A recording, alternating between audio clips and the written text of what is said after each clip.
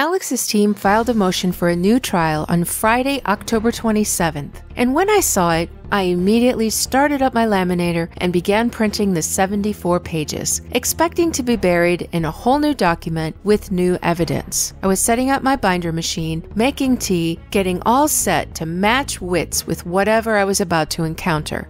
I was irritated when I glanced at my printer and saw the same tired Facebook posts and conversations that have been in their documents twice. I cursed the wasted paper, but still thought there would be something new. Would you like to know what's new since they filed the motion and held a press conference on September 5th? Get ready. This just might take a while. If you didn't catch the sarcasm in my voice, let me say there was sarcasm in my voice. Let's get started. It's legal updates with Kassidy, recycled motions, and other lazy lawyering. Welcome